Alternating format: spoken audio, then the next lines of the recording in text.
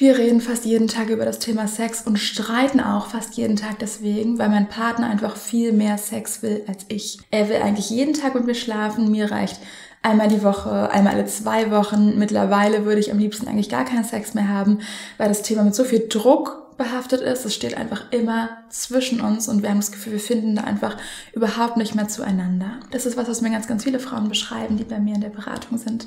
Ihr Partner hat einfach einen viel höheren Sexdrive als sie. Er möchte viel, viel mehr Sex haben und sie wissen nicht so richtig, was sie da tun können, wie sie da rauskommen. Sie haben das Gefühl, das ist so ein unlösbares Problem, weil man nicht ändern kann, wie viel Sex er haben will und dass er so viel mehr Sex will als sie. Und ich verrate dir heute, wie du damit umgehen kannst, wenn dein Partner so viel mehr Sex will als du, wie ihr die Situation entschärfen könnt, wie ihr zueinander finden könnt und eine Lösung finden könnt, sodass er mit eurem Sex wieder zufrieden ist und du auch. Ich bin Lisa Mucke, ich bin studierte Kommunikationspsychologin und Sexualtherapeutin für Frauen und Paare und ich helfe Frauen dabei, wieder mehr Leichtigkeit in die Sexualität zu bringen und wieder mehr Lust auf Sexualität zu haben. Zu mir kommen ganz, ganz viele Paare in die Beratung, die eigentlich genau das Problem beschreiben, nämlich, dass er viel mehr Sex möchte als sie.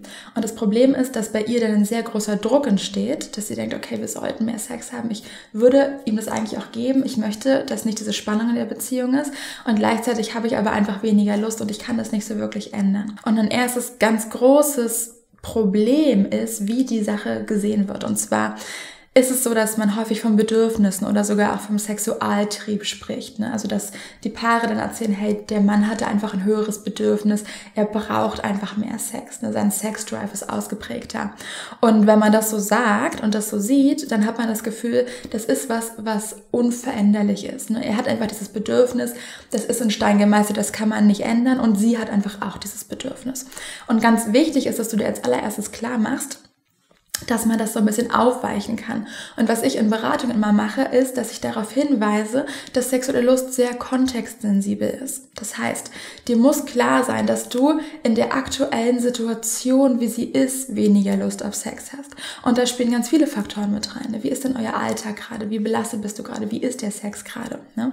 Und das ist was, was man alles verändern kann. Das heißt, wenn eine Frau zu mir kommt und sagt, hey, ich habe einfach weniger Lust auf Sex als er, dann sage ich erstmal, okay, das heißt, in der aktuellen Situation, unter den aktuellen Umständen hast du weniger Lust als er auf den Sex, den ihr aktuell habt. Klingt so ein bisschen schwierig, aber da kommt raus, die aktuelle Situation, das heißt, die Zeit kann sich verändern, die Umstände, euer Alter kann sich verändern und der Sex, den ihr aktuell habt, ne, die Sexualität, die ihr gerade lebt, das ist auch was, was sich verändern kann.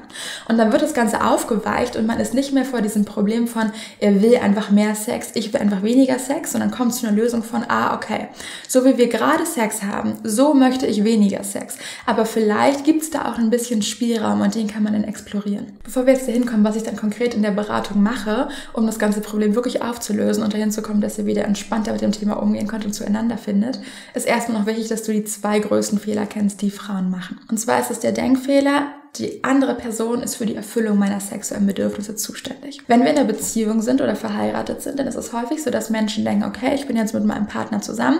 Sexualität ist jetzt was, was uns beide betrifft, weil wir haben es ja miteinander und wenn mein Partner Lust auf Sex hat, dann bin ich dafür verantwortlich, dass wir genug Sex haben, dass er glücklich ist.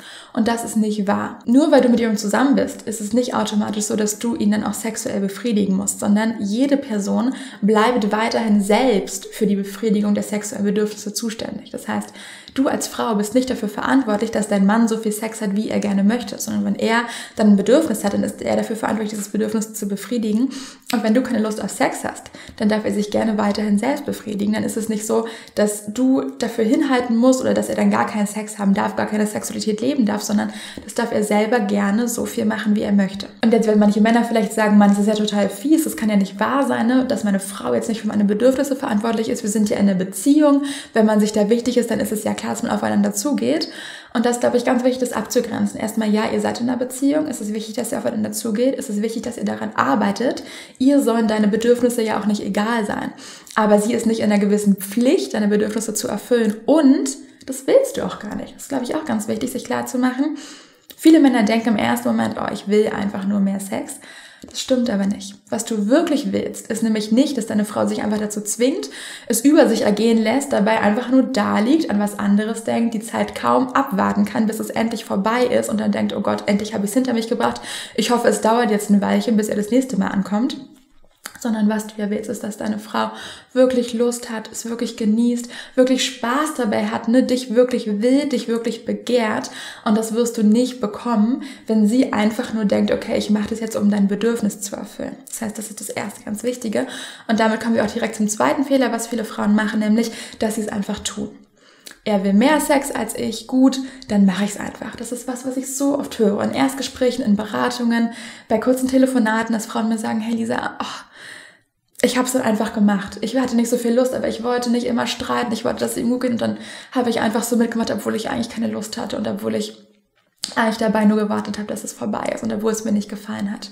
Und das ist ein ganz, ganz großer Fehler. Macht es nicht, denn es löst euer Problem nicht. Es löst euer Problem, sondern es schafft Distanz rein, weil du nicht ganz offen und ehrlich bist zu ihm, weil du ja nicht sagst, hey, ich habe eigentlich keine Lust, sondern du halt irgendwie mitmachst und ihr schlechten Sex habt. Zumindest für dich, für ihn aber vermutlich auch, weil er auf jeden Fall spürt, dass du nicht 100% da bist, dass du es nicht 100% gut findest und das ist ja nicht, was ihr für euch wollt. Mach nicht einfach mit, wenn du nicht möchtest und du bist nicht für die Erfüllung seiner Bedürfnisse zuständig. Jetzt ist aber ganz wichtig, diese beiden Fehler kann man sich angucken, kann man vermeiden, da hat man ja aber auch noch keine Lösung, ne? weil du wahrscheinlich auch als Frau sagst, ja, das ist schön, es zu hören, es ist auch irgendwie befreiend.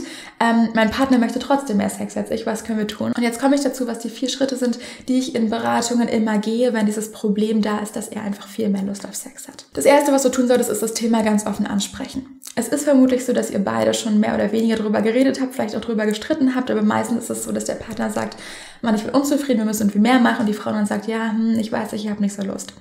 Ähm, und wichtig ist, dass man sagt, okay, hör zu, ich habe nicht so viel Lust auf Sex wie du, das stimmt. Mir würde aktuell so und so viel reichen, vielleicht einmal die Woche, vielleicht einmal alle zwei Wochen und ich merke, dass du dir mehr wünschst.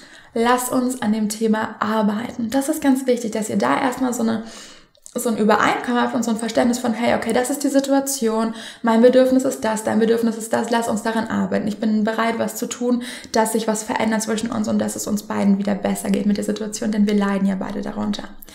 Und jetzt kommt der zweite Schritt und der ist ganz, ganz wichtig, den vergessen aber ganz viele Paare. Denn wenn ihr ein Problem mit der Sexualität habt, ja, wie jetzt, er möchte viel mehr Sex als du, dann denken viele, okay, dann müssen wir was am Sex verändern. Das stimmt aber nicht. Ihr habt nämlich erstmal ein Beziehungsproblem und ihr müsst erstmal schauen, dass ihr da zueinander kommt. Und deswegen ist der zweite Schritt, Verständnis füreinander zu haben. In meinen Beratungen ist es meistens so, dass die Frauen schon Verständnis für den Partner haben und sagen, ja, ich kann schon verstehen, dass er sich mehr Sex wünscht und es tut mir auch total leid, dass er da mehr Nähe möchte, mehr Intimität, mehr beisammen sein. Ich kann es gerade nicht geben, aber es ist, ja, es tut mir wirklich leid für ihn. Ich kann es verstehen, dass er darunter leidet. Und meistens haben Männer nicht ganz so viel Verständnis dafür, ne? sondern Männer sagen so, hä, ich verstehe das überhaupt nicht, warum sie da keine Lust drauf hat, ist doch die schönste Sache der Welt, ne? Warum will sie nicht mehr Sex haben? Das ist doch toll, es macht Spaß, verstehe ich nicht. Und ähm, der Hintergrund ist meistens, dass sowohl Männer als auch Frauen einfach sehr wenig Ahnung von weiblicher Sexualität haben, von weiblicher Lust und was weibliche Lust braucht. Das heißt, die beiden wissen nicht, dass es für Frauen einfach deutlich schwerer ist, in eine Lust zu kommen als für Männer und denken deswegen, hey, mit dir ist irgendwas falsch, mit dir ist aber gar nichts falsch, sondern weibliche Lust funktioniert einfach anders. Ich hatte neulich ein paar in der Beratung. Die Situation war so, die beiden haben zwei kleine Kinder, noch sehr klein, das kleinere Kind war noch zu Hause, das größere war schon in der Kita und sie hat die meiste Care-Arbeit übernommen. Das heißt, sie hat sich zu Hause um alles gekümmert, um die Kinder gekümmert, den Haushalt gekümmert, ganz, ganz viel gemacht, hatte gar keine Zeit für sich, gar keine Pausen und hat sich mit sich einfach nicht wohlgefühlt. Und sie konnte nie durchatmen, sie konnte nie was für sich machen. Sie hat sich weder in ihrem Körper wohlgefühlt, noch sonst, so dass sie gesagt hat, oh ja toll, ich führe gerade hier ein Leben, wo ich mega erfüllt bin, mega entspannt bin, voll in meiner Mitte bin, was ja auch in gewisser Weise normal ist mit kleinen Kindern. Er hingegen war arbeiten und wenn er nicht arbeiten war, hatte er Zeit für seine Projekte. Er hat irgendwie Sport gemacht und irgendwas rumgewerkelt und war dadurch sehr ausgeglichen und sehr entspannt. Und dadurch kam es, dass er relativ viel Lust auf Sex hatte und sie eher weniger Und da habe ich darüber aufgeklärt, was sexuelle Lust eigentlich braucht. Dass es braucht, dass man keinen Druck hat, dass man entspannt ist, dass man stressfrei ist, dass man zum Beispiel Zeit für sich hat, ne? dass es in der Beziehung gut läuft, dass man sich wohlfühlt mit sich. Ne? Das ist ganz wichtig. Lust auf Sex wirst du immer dann entwickeln, wenn du dich attraktiv fühlst, nicht jemand anderes. Und der Partner dann gefragt, ist es wirklich so? Also ist es wirklich so, dass du entspannt sein musst, ausgeruht sein musst, was für dich machen musst, ne? dich wohlfühlen musst in der Situation, dass die Beziehung schön sein muss? zählt da wirklich so viel rein. Das brauchst du alles, um Lust auf Sex zu haben. Und er war total überrascht und sie war dann so fast schuldbewusst, aber auch irgendwie erleichtert meinte, ja, ja, tatsächlich hilft es mir, ne, wenn ich entspannt bin, wenn ich ausgeruht bin, wenn wir keinen Streit haben. Und das wieder ganz wichtig, das ist dieses Kontextsensible, was Frauen haben. Frauen achten eben auf viel mehr Faktoren, die notwendig sind, um Lust entwickeln zu können. Das heißt, der Mann muss auch verstehen, wie sexuelle Lust funktioniert und ein gewisses Verständnis dafür entwickeln, warum du gerade eventuell keine Lust auf Sex haben kannst. Denn wenn das so ist, wie in der Situation, dann ist es sehr, sehr schwer, Lust auf Sex zu entwickeln, weil da eben einfach gar kein Raum da ist für sich selbst, keine, kein Raum für Sexualität, kein Setting, in dem man sich wohlfühlt, in dem man entspannt ist, in dem man in der Beziehung mit dem Partner verbunden ist. Und dann ist auch ganz wichtig, was sich direkt daraus ergibt, nämlich, dass auch beide daran arbeiten müssen. Also manchmal habe ich es wirklich so, dass ähm, der Partner so ein bisschen in die Beratung kommt und sagt, so, ich gebe jetzt hier meine Frau ab, liebe Lisa, ähm, repariere sie mal bitte, sie hat irgendwie nicht so viel Lust, irgendwas ist mit ihr falsch und dann kannst du sie mir zurückgeben, wenn sie wieder Lust auf Sex hat. Und ähm, ganz viele Paare haben nicht im Kopf, dass beide daran beteiligt sind und dass beide da einen großen Teil tragen, die Männer ganz genauso wie die Frauen. Und wenn du das jetzt als Mann gucken solltest, Du bist genauso mit Schuld daran, dass deine Frau wenig Lust auf Sex hat wie sie, weil du genauso daran beteiligt bist, ein Setting zu schaffen, in der ihr beide Lust auf Sexualität habt.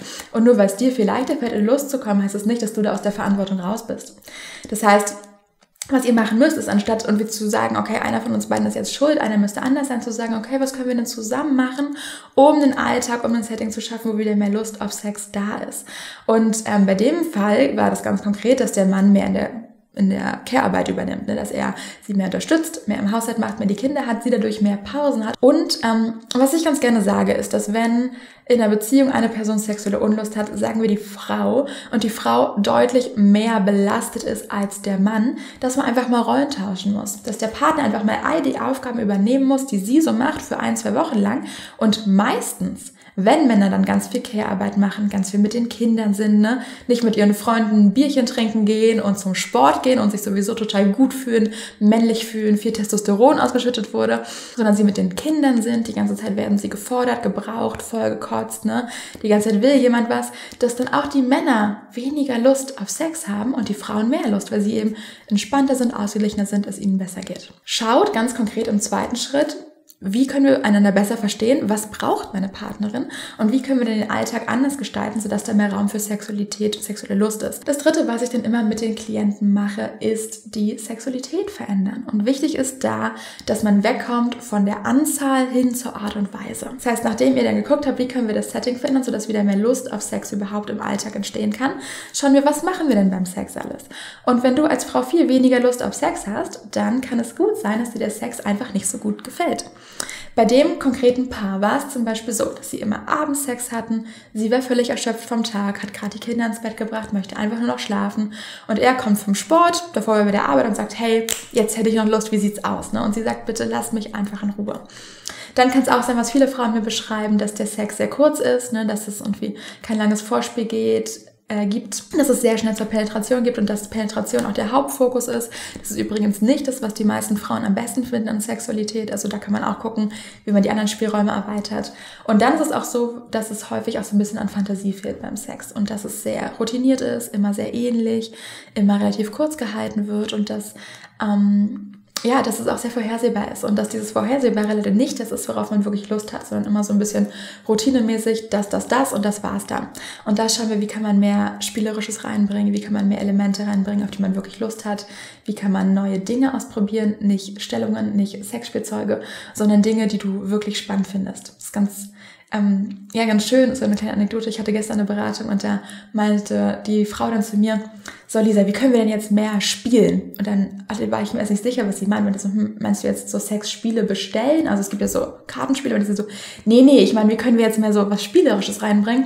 Und das ist genau der Punkt, wo du hinkommen möchtest als Frau, dass du sagst, okay, wie kann ich jetzt wieder was Spielerisches reinbringen? Wie kann ich jetzt was reinbringen, worauf ich wieder wirklich Lust habe? Das ist es, was man finden muss was häufig nicht so leicht ist, allein zu finden, aber in der Beratung geht das sehr, sehr gut, weil man da ja sehr viel Auswahl präsentiert bekommt, was man das so machen kann beim Sex. Und wenn man das gefunden hat und den Sex verändert hat, dann ist auch wieder mehr Lust da. Der vierte Schritt ist dann ein gemeinsamen Weg finden, beziehungsweise ein Kompromiss und nochmal ganz offen darüber zu reden, okay, was kann ich geben? Was brauche ich, um Lust zu haben? Was können wir aber vielleicht auch machen, wenn es mal nicht funktioniert? Ne? Wie kannst du als Mann deine Bedürfnisse dann auch befriedigen? Wie kannst du dann auch zufrieden sein? Und häufig ist es so, dass durch so eine Veränderung der Sexualität schon wieder mehr Lust da ist, dass aber auch die Sexualität sich einfach ganz viel verändert und er spürt, okay, sie hat Lust dabei, sie findet es toll und sich der Alltag auch verändert ne? und man im Alltag wieder mehr Nähe hat, mehr Umarmungen, mehr Berührungen, mehr Zärtlichkeiten und das allgemein dazu führt, dass er sich wieder mehr geliebt fühlt, mehr begehrt fühlt und natürlich auch ein ganz anderes Verständnis für sie hat und nicht das Gefühl hat, okay, sie will einfach nicht, sie findet mich nicht mehr geil, sondern weiß, ah, okay, heute war ein super stressiger Tag mit den Kindern, deswegen wird es für sie jetzt sehr schwer, sich auf Sexualität einzulassen, das aber nicht mehr so auf sich bezieht. Und dadurch kommt dann wieder eine sehr große Zufriedenheit in die Beziehung. Vielleicht gar nicht unbedingt, weil ihr so viel mehr Sex habt, sondern weil ihr einfach anderen Sex habt und einen sehr anderen Umgang miteinander. Weil der Verständnis da ist, weil der Nähe da ist, weil da wieder Begehren da ist, weil der Leichtigkeit da ist